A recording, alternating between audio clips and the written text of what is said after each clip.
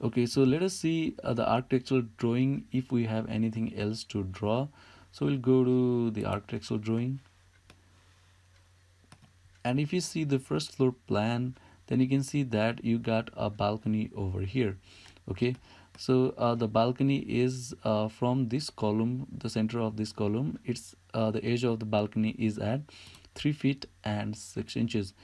Now we will draw this balcony at the first floor and we'll copy it to the second floor. Okay? So let's go to etabs.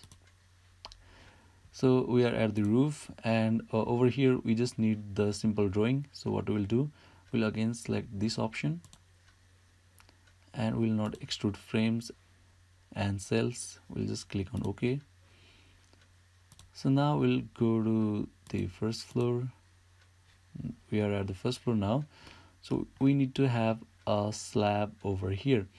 So what you can do to draw this slab either you can define a grid at this point in the x direction also in the y direction right? Or there is another method that you can use.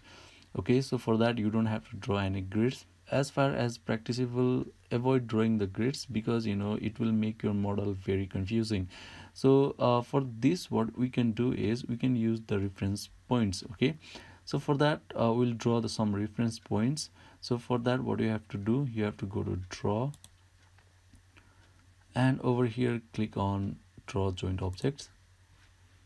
So here you can see plan offset x in mm plan offset y in mm plan offset z in mm it means that by how much you want to offset your reference point from the point where you click okay? For example if i click here and the plan offset xmm is uh, suppose it's uh, one meter.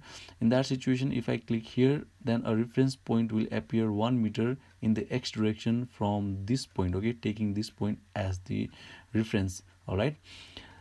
Uh, okay so we need a reference point here that is at a distance of three feet and six inches in the y direction. So uh, the y is zero at here so which means that in the downward direction y is negative. And also we have to give the distance in mm. So we'll convert 3 feet and 6 inches in mm